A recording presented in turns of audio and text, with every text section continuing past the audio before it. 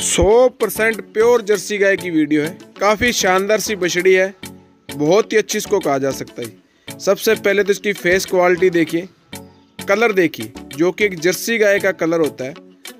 और इसकी जो आँखें और माथे की फेस की बनावट देखिए। सौ परसेंट प्योर जर्सी बछड़ी है। पीछे इसके मेल काफ यानी कि बछड़ा है। अडर क्वालिटी देखिए, कितनी शानदार है। मिल्क कैपेसिटी 18 से 20 लीटर की है। बिल्कुल फ्रेश डिलीवरी है।